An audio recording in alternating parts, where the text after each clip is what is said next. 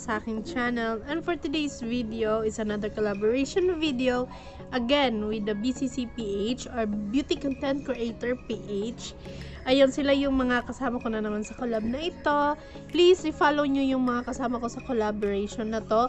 Ilalagay ko yung mga links nila sa baba sa description box.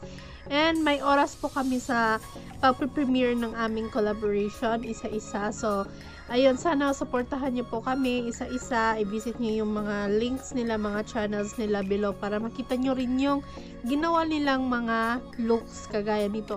By the way, yung theme namin sa video na to is Ice Queen Makeup look. So, wala akong corona, hindi ako nakagawa. So, ito na lang look yung ginawa ko. Sana wag niyong kalimutang i-follow yung mga kasama ko and manood din kayo sa video nila.